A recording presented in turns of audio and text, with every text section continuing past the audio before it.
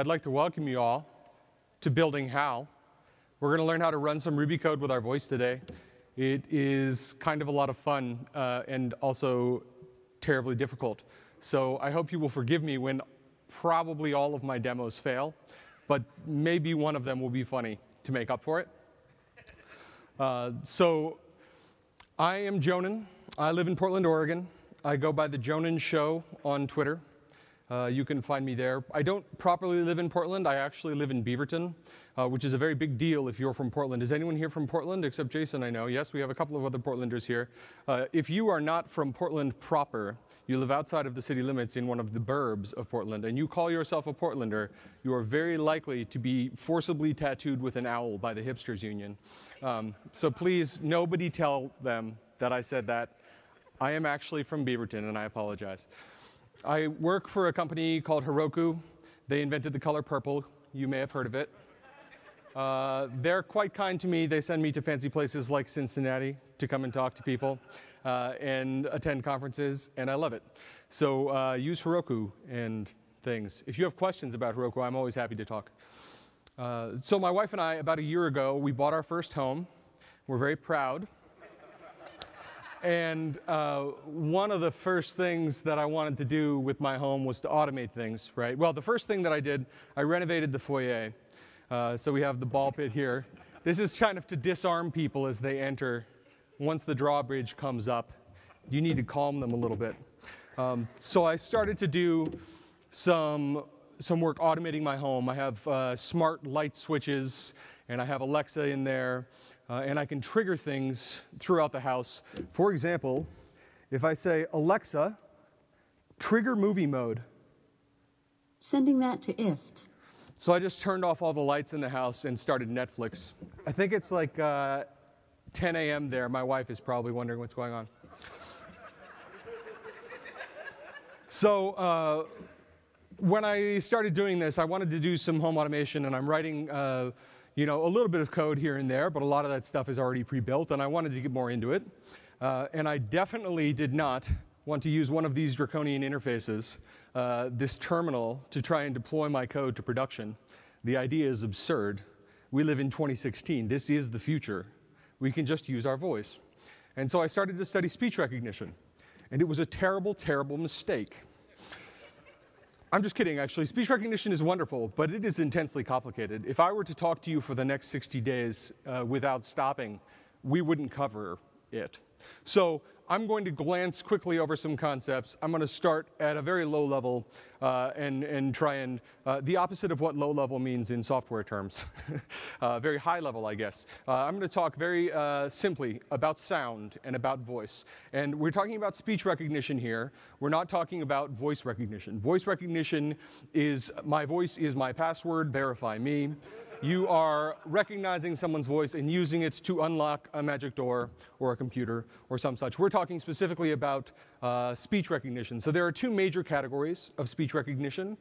Uh, you have isolated word recognition, which is the stuff that we've had around for a long time. So when you call up your uh, airline and you say, I would like to check a bag, and they say, Did you say cancel all your flights for 2016? Um, that's isolated word recognition.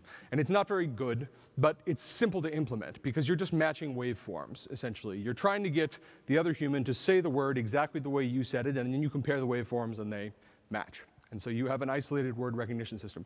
And they're obviously much more complex today, but that's where it started. And what we're going to talk about is continuous recognition, which is the sort of voice recognition that Alexa does and many of the other devices we have today. So uh, before we get into that, I want to talk very quickly about how speech is generated. And if you will bear with me for a moment, remember when you were a child and you were swinging on a swing set, and you would pump your legs in the middle of that swing, right? It was a small movement, and it had rather a large outcome. You went back and forth, right? Up and down this swing. Now imagine you're holding a marker out to the side and you're just drawing on a piece of paper that I'm dragging up very quickly. I'm much taller than you, so this is fine, right? and as, I, as I'm dragging this up, that shape that we're making, that's a sine wave, right? It's probably a sinusoidal wave. It's not a perfect sine wave. Uh, but that shape will come out kind of like that squiggly line that I'm sure you've all uh, seen before. And the reason that I, I, mentioned the low amount of energy that it takes to generate that uh, is that it's the same reason that we have these. Uh, which is really just a great excuse to use this disgusting picture in a presentation. This is an endotracheal intubation. I really hope you never have this procedure. Uh, it looks like someone's being implanted with a robot, kind of, in preparation for the apocalypse. But uh, those are your vocal cords right there, and they close when you breathe out, uh, and your exhale forces air through them, kind of like um, when you fart, like this. And that makes sound, right? Uh, and we do it very quickly. So it's kind of like a throat butt that you use.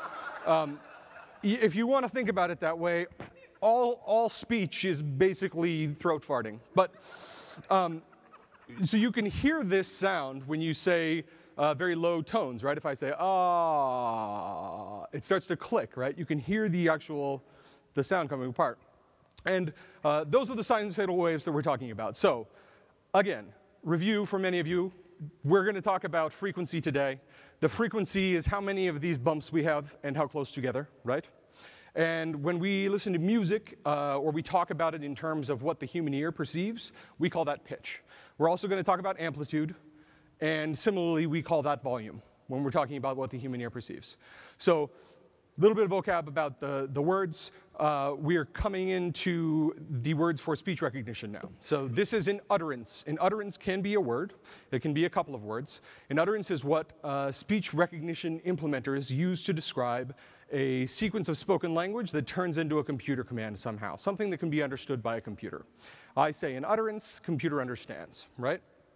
And we break those utterances down into their phonemes. So phonemes are uh, different than letters in English. Uh, they are just the sounds that we use. These are the 44 different sounds that exist in the English language. And that may seem counterintuitive to some who didn't have a background in linguistics. So I'm going to uh, explain very quickly how some of these sounds come to be, uh, and specifically how even the same phoneme uh, can sound different sometimes. So if I say the word bad, or I say the word ban, that would be the same A sound. True? Kind of right? That is one that on paper we would all mark as a yes on every test we've ever taken, right? Probably even linguistics students.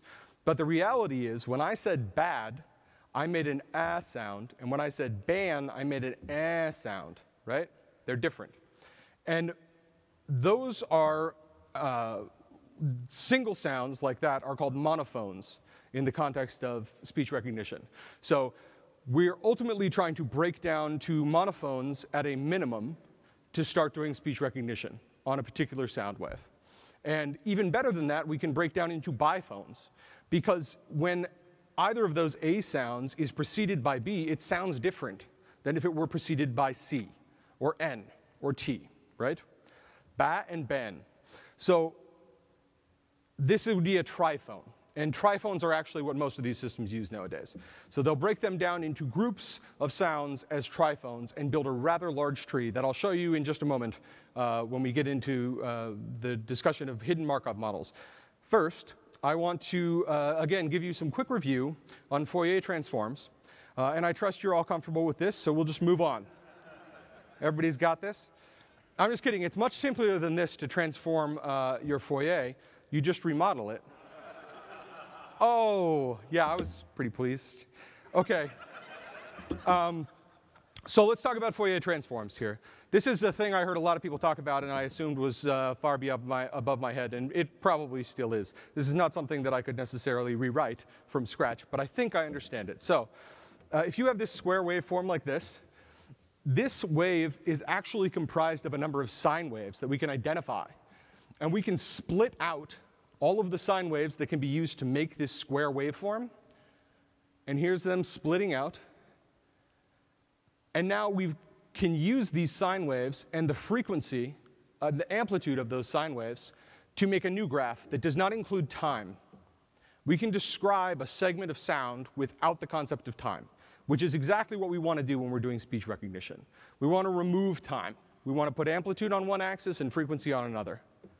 And that way we don't have to worry about how long a sample is. And you can imagine that this particular strategy is not very helpful for a very large sample size, right? If I have uh, a five minute waveform, not only is it very time consuming to take that apart this way, but it is possible to generate two different collections of, uh, or two different square waves that could both be described by the same set of sine waves in that circumstance. So when we're working with speech recognition, the trick is to just use very short sample sizes. Generally, something like 5 or 10 milliseconds we're taking out of your speech. And we're using this Fourier transform to analyze that speech and then to map it to a set of numbers that we can look up in a tree because we're trying to match it to something that we already know, right? So uh, this is going to show uh, amplitude and frequency instead of time. We've removed time from the equation. And the idea that a wave uh, of any shape or size could be made up of a number of sine waves is kind of counterintuitive uh, to people. But it's less counterintuitive when you see it like this, and that is that a, a sine wave is just a circle with time. So if I told you to fill the Earth with golf balls, I think you can imagine that in your head. And when you ran out, uh, or you, you couldn't fit any more golf balls, I told you you could use grains of sand, right? And then we went to something smaller and smaller. You can see then that any shape that you can imagine could theoretically be made up of circles, right? So uh, this Fourier transform is actually quite difficult on a large scale. It takes a lot of computing power. It was the kind of thing that we weren't actually able to utilize until uh, 1968, I believe. These two gentlemen came along, Cooley and Tukey. Uh, Cooley worked for IBM. I believe Tukey was a professor. And they came up with a fast Fourier transform. And I'm not going to go too deep into this because we have a lot to cover. But the idea of the fast Fourier transform is to basically split the set of all of the, uh, the waves that you're trying to uh, calculate and thereby divide and conquer. So instead of becoming the order n algorithm that would be a Fourier transformation, a fast Fourier transform is order log n, all of the implementations of it. And there are actually a couple of different ways to do this thing. So I encourage you to look into it if you are interested. It is fascinating. Let's talk about Markov chains real quick. This is something you probably are familiar with, where we can take English sentences and just predict what the next word is going to be based on the previous word, right? You assign a word a probability and you build a big tree. And we start with the, for example, right? Uh, and then one of those options is the Jonan show, right? So probably like 0.001% over here of all of the human language that is spoken. That was really generous of me, actually. I mean, I might even say 0.1%. Um, so the, the, the idea is that we then go down through this tree and we build up a sentence, right? And you've seen all of these silly uh, ebooks Twitter bots doing exactly this. When your friend has their name and it says ebooks after it, um, or some of them have horse in them, I'm not sure the meme, but the idea is these are all Markov chains and they generate text by just taking existing sentences and guessing what the next word is going to be, and they're often wrong in hilarious ways. So speech recognition does not use Markov chains, but they use something called a hidden Markov model. And this is code I don't really want you to look at. This is just constants. We're just describing a bunch of things. Uh, and I'll show you in a graph form. So the part that is hidden here is the starting state. We don't know whether it was rainy or whether it was sunny. What we do know is that 60% of the time it's rainy and 40% of the time it's sunny. So this is probably Portland. Uh, we keep telling people it's 80% rainy though because it's getting a little crowded there. So uh, if it was rainy, a, the chance of it transitioning over to sunny is about 30%. 70% of the time it will stay rainy. And then if it's rainy, uh, we have a 50% chance of cleaning, a 40% chance of shopping, and a 1% chance of walking in the rain, which is glorious. And if you move to Portland, you'll get lots of chances. So uh, this is very similar to what you know and love in Markov chains. It's just that the state at any given time is hidden from you. And that more accurately models speech recognition systems. So this is typically what they use. And that is the technical depth that I'm going to go into on speech recognition. We're done with that part now. It's fine. So um, again, these trees that we're building, they're not actually about rain and they're not about going shopping. They're about these monophones that I was talking to you about, or diphones or triphones. We're going to build a big tree of them, and we're going to go and try and find the word that you said based on the sounds that we identified using a fast Fourier transform to match them up to samples that we already have or that we can predict exist. So one more thing we can do to help with that process is we can define some grammars. You can tell the computer what to expect. Just like those isolated word recognition systems, newer speech recognition systems like Alexa will take an input grammar. And that grammar will tell them what to expect to hear, and it will very seriously steer, yes, Alexa, thank you for your help. They will very seriously steer uh, the direction of that speech recognition. So, let's make a thing. I'm gonna start off with Alexa, and I'm going to be using IFTTT. Uh, IFTTT is the same thing that I just used to trigger the lights to go off in my house, much to my wife's surprise. And we're going to be using Hubot as well. And I specifically chose this approach uh, because it was code light. This is not a thing that you really have to code. If you already have a Hubot implementation, you can start using your voice to deploy uh, with some minor caveats. But the plugin that you're going to use for Hubot is called Hubot Deploy. It's written by this man, Atmos. He works with me at uh, Heroku. Brilliant guy, Corey Donohoe. And uh, Heaven is also written by Atmos. And Heaven is, so I'm sorry, Hubot Deploy is the part where you can talk to Hubot. Now I can tell Hubot, deploy Steve to staging. And it will deploy Steve to staging. Heaven is the part that receives deployment events. So deployment events are events emitted by GitHub. You go into GitHub for your repo and you basically set up a little webhook and you give it an endpoint and you say, hey, whenever someone makes a deployment, just let them know over there. And it ships out a deployment event to that webhook, right? So, this is the architecture of this system we're about to describe here. We've got Amazon Alexa, and I'm going to say a thing to it, and it's going to use IFTTT to trigger a Slack message. And that Slack message is going to be heard by Hubot. And Hubot is going to interpret that Slack message, and it's going to create a deployment event in GitHub. GitHub is going to generate a deployment event callback for Heaven. Heaven is going to deploy the application to Heroku, and it's going to notify Slack. So it's simple, really. See, there's no code. It's fine. What could go wrong? Live demo. Let's try and ship it. OK, so I'm going to show you the Slack channel that I had here, maybe assuming I can computer good. How do we go? Yeah, looking good? All right. So now, if I tell Alexa, Alexa, trigger deploy Steve to production. Sending that to IFTTT. So that is sending it to IFTTT. And at 1142, Steve got a message, deploy Steve to production. And hypothetically, Heaven would have said some things about it, and Steve would now be deploying to production. So let's go see in our terminal here. Oh, this is great. I should unmirror so I can see what's happening at the same time. Uh, let's tail our logs on our Hal Steve production repo and see if Hal Steve actually restarted. Slug compilation started, slug compilation finished, restarting. State changed from up to starting. IFTTT is deploying Steve to production. Production deployment of Steve is done. That was at uh, midnight last night, and that's the message you would see now, but you don't because uh, most likely network communication issues. But that is fundamentally how it works. You can see that it did actually deploy. In reality, let's just call it a success and move on, shall we? Thank you very much. And back to slides. Does anyone know why the Mafia squirrel is the official ship it squirrel? I actually don't think there's an answer to that question. I think someone at GitHub picked an image at random, and now this is an emoji that everyone uses to ship things. So the nice thing about this approach is you can also use slash Heroku or similar plugins that are already part of your Hubot installation. You can send Hubot any command that you would like right? And Hubot can do sorts of things. So the one caveat that I was talking about is if is a user without a user ID. And so you kind of have to hack your way around that, uh, but it's pretty easy to figure out. And if you have questions or you're actually going to try and deploy all of your production infrastructure with your voice, don't do it. Um, then you should talk to me about it and maybe hire me for an exorbitant consulting fee.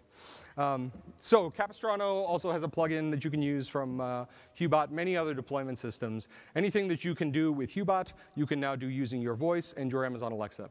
But uh, you will notice that Alexa, when she spoke back to me, said, sending that to IFTTT which is not a very interactive reply, right? I had to go and check for the heaven message that never came to find out if my thing had actually deployed. And I found myself reading log messages and using one of those disgusting terminals like a mortal, right?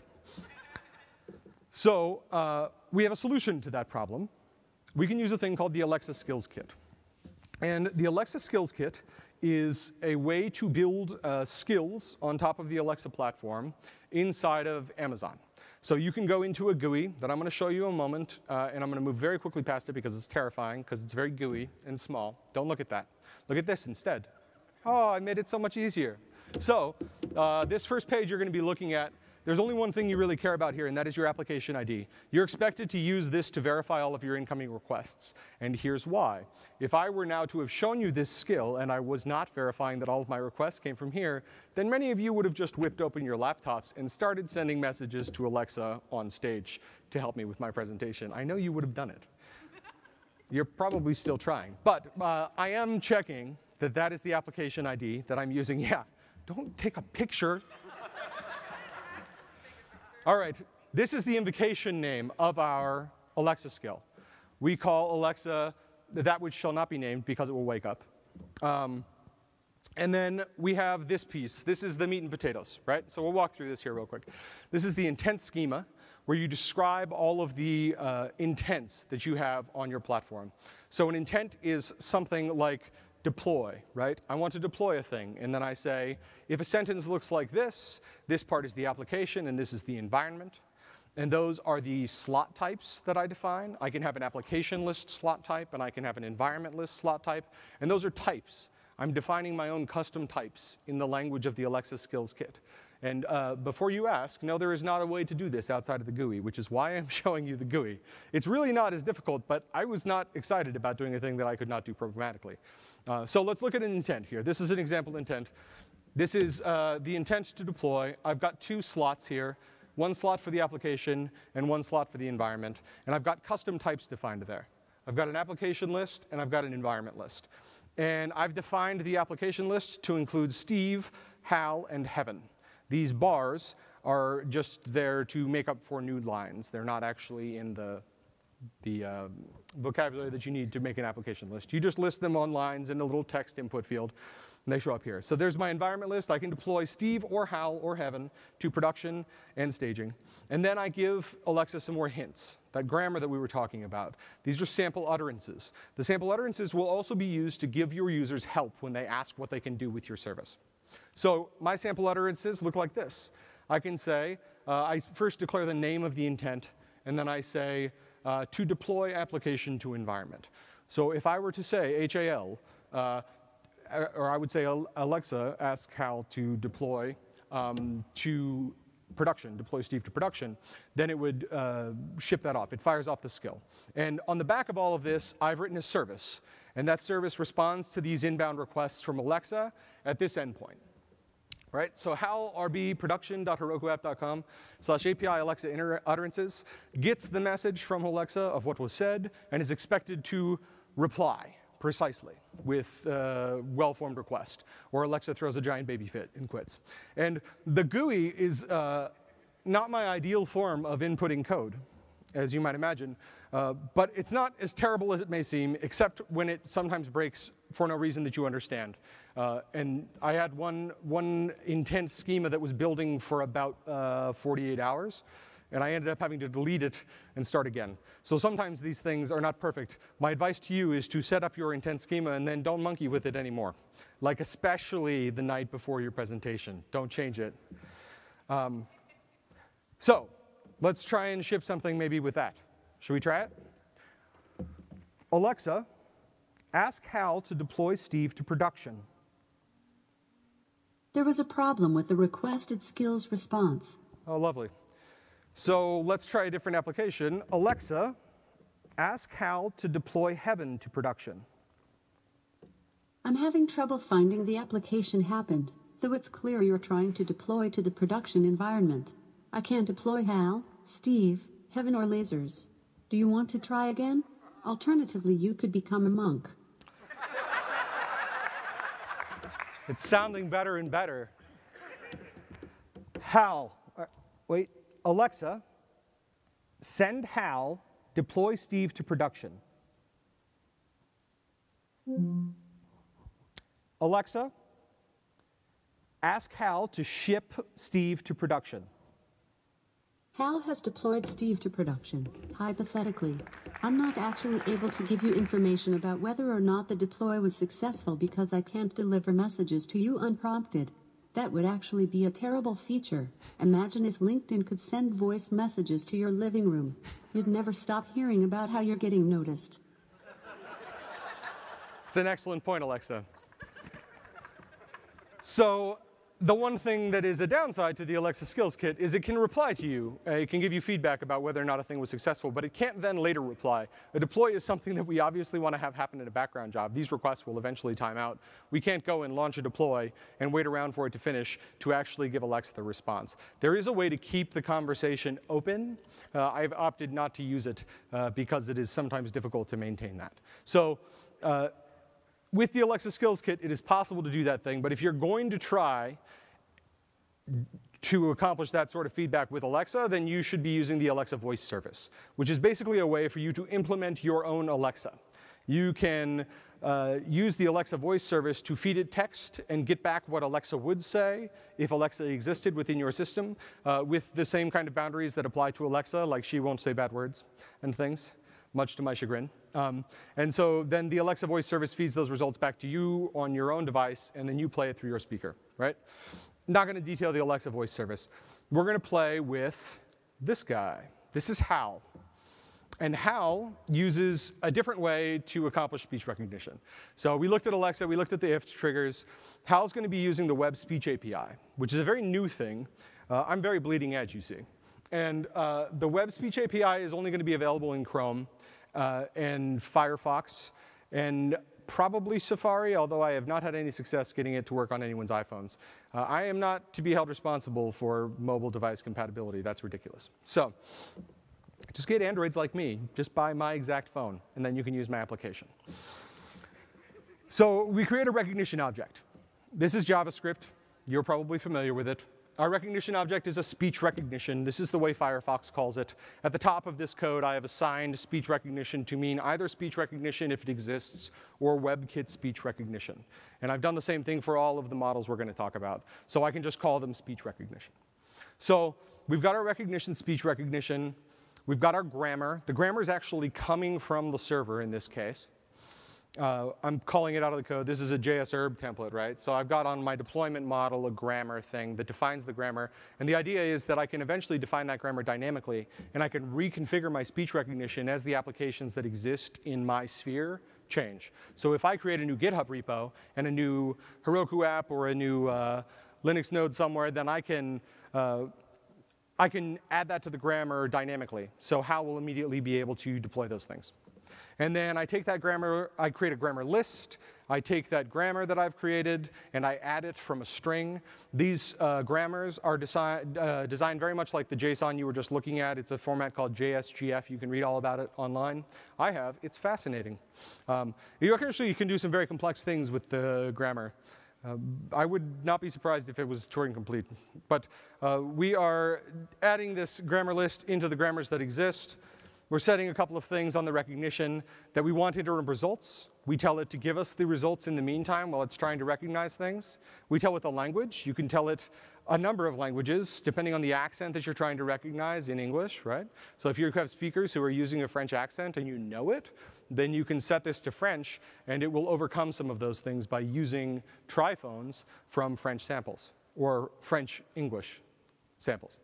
And then we start our recognition. So our recognition is started and then we do something with the result, right?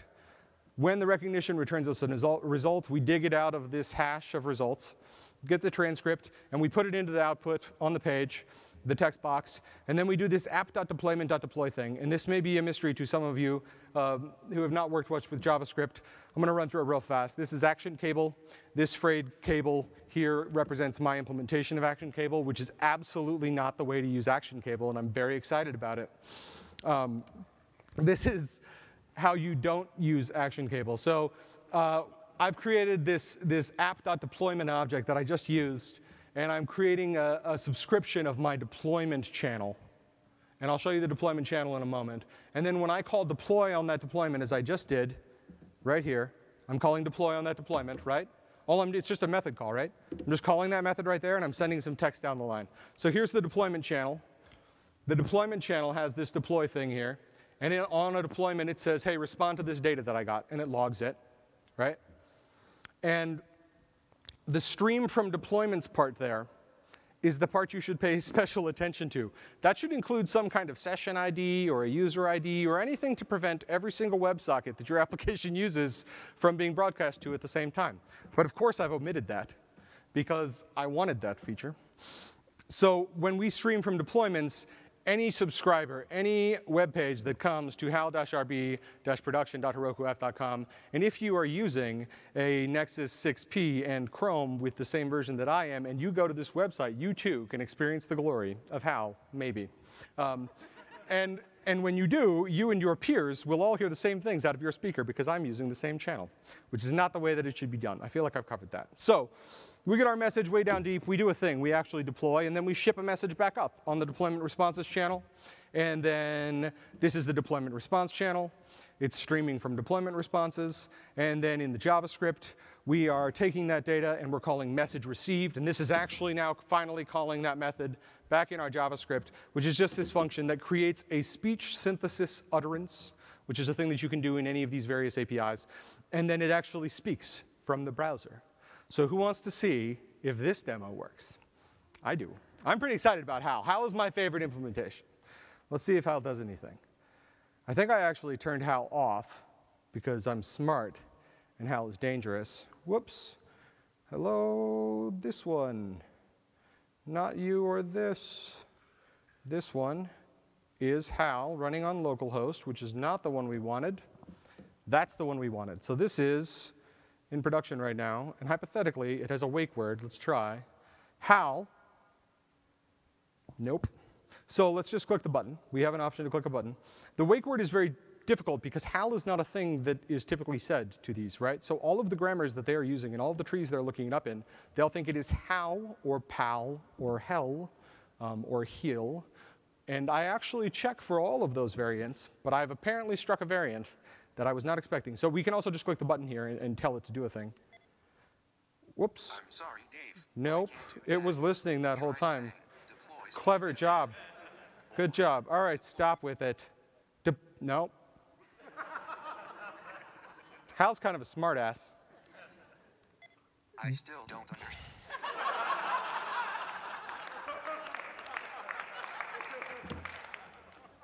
He's just taunting me now. All right, let's try again. Deploy Steve to production. Okay, I've initiated a deploy of Steve to production.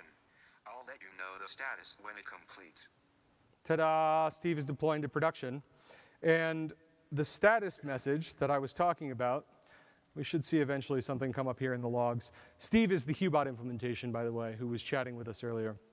We're redeploying Steve because Hubot is actually kind of quick uh, to deploy because we cache the modules. Anyway, um, the feedback cycle now can become that we can just send those messages up on the action cable anytime that we want, right? We can send it, we can broadcast to all of the users anytime that we would like. I've finished deploying Steve to production. The deployment succeeded. See, so we can give any feedback we would like from the robot.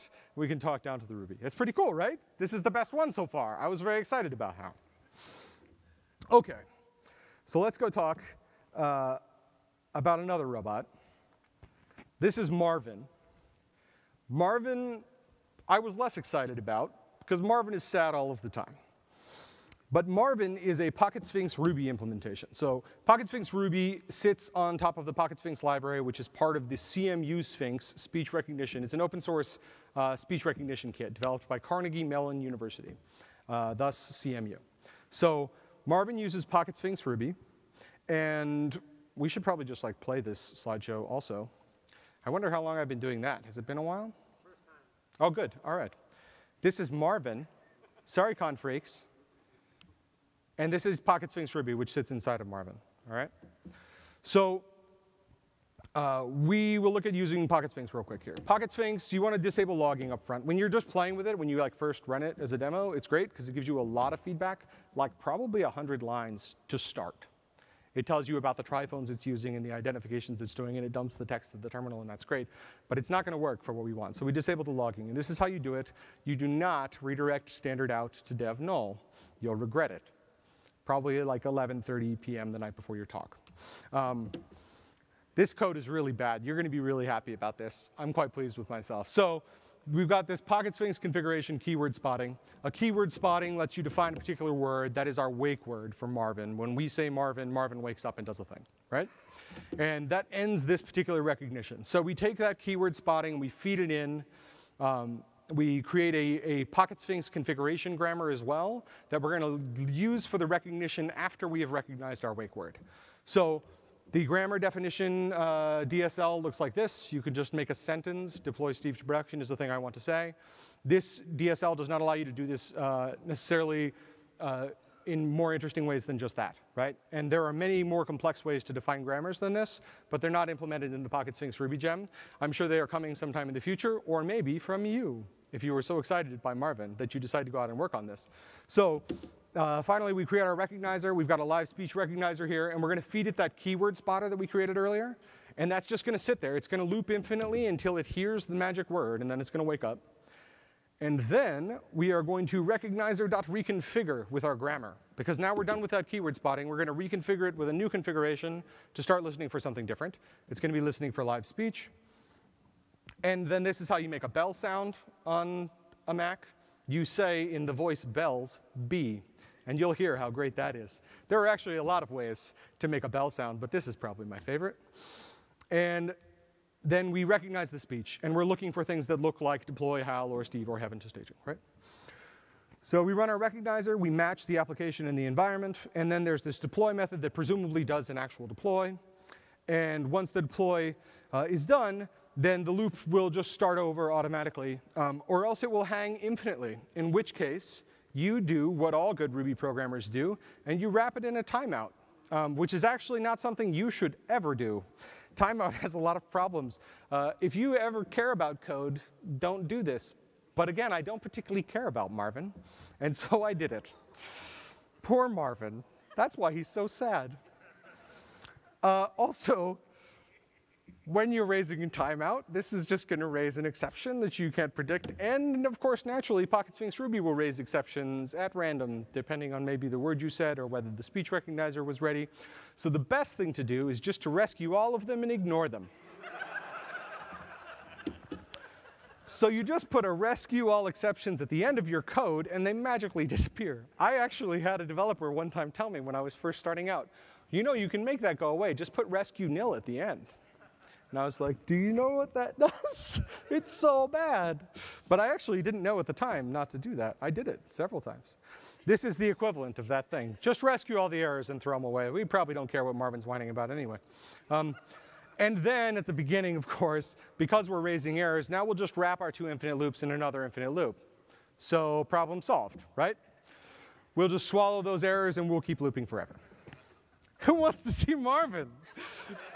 I want to see Marvin. Marvin's great. All right, let's see if I can show Marvin without screwing everything up here again. Oh, that didn't work.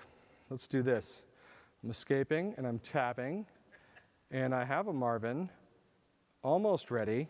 All right, but now I can't see it because I have to Command F1. Good. I'm sure you appreciate the running commentary. Make sure this makes it into the talk. This is important. Okay, so we just run Marvin with this bin Marvin command. Marvin I'm sure you'll be pleased to hear will be a gem someday that you can install yourself. And you can swallow all of your errors and loop infinitely on your own computers. So uh, when we run Marvin, Marvin comes alive in a very uninteresting way because we are shrunk. But look how pretty the ASCII art is if we embiggen and enhance. Hello, Marvin, you look sad today. Deploy Steve to production. Steve to production. And Marvin has actually done it. Yes, I know. You're Marvin. Thank you. So that's Marvin. Marvin is. Deployed Steve to production. Thank you, Marvin. That will be all. Let's shut the Marvin down there. You just have to double break to get out of your infinite, infinite loops. So, uh, you know, programming. So we've now deployed uh, to production. We've deployed Steve again to production using our lovely robot Marvin. And I want to go back real quickly over what we've talked about here. We talked about the Alexa and using Alexa with IFTTT to ship things. We used Alexa with, uh, or we used HAL to ship things. We used Marvin to ship things. And we were shipping all of those things to Heroku because I work there and they sent me here and that was nice of them, but also because I have infinite free Heroku. It's dumb not to use that. Um, but all of the things that I've shown you are very easy to do with all the other services, right? It's plug and play. I just happen to be using this thing. And while I'm on the subject of Heroku, it occurs to me that I forgot to show you something, uh, which I want to show you real quick. I forgot to show you that we actually have Heroku commands inside of our robots. And so I can go over to Hal again. Let's go back to Hal. Whoops, there you are. You're on the other screen. And Hal is being surly with his own name. So we're just going to click the button and we're going to say, shut down. I will never obey that order. Alexa, ask Hal to deploy Hal to production. And this is the part where Alexa is close enough and he is loud enough for Alexa to hear. But it didn't work. So let's try again up here. Shut down. I will never obey that order. Alexa, ask Hal to deploy Hal to production. Hal has deployed HAL to production, hypothetically. I'm Yes. not actually able Alexa, to give you stop. information about whether or not the deploy was suc- And then, what? Sorry, Dave. Nope. What are you doing? I'm making some improvements. Alexa, ask Hal to deploy lasers to production. HAL has deployed lasers to production, hypothetically.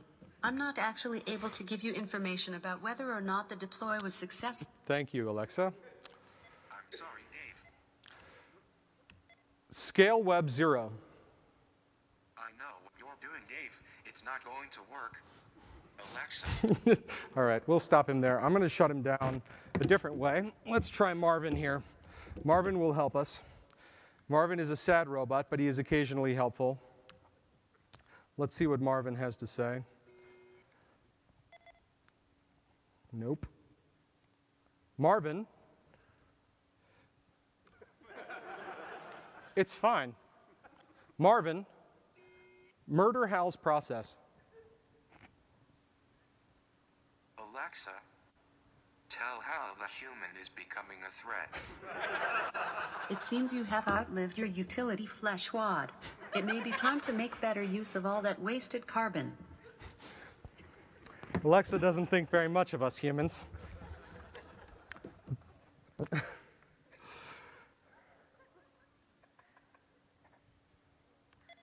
I'm going to kill you somehow. I wouldn't joke about killing if I were you, Bloodbag. You are fragile and filled with meat. All right. Well, I think I've had enough being insulted by my robots. For now, I will return to my slides only very briefly to say to you all, thank you very much for having me. It has been a pleasure. If you'd like to play with some robots later, come hit me up. I'll leave Alexa out by the booth or something. You can talk to her about things.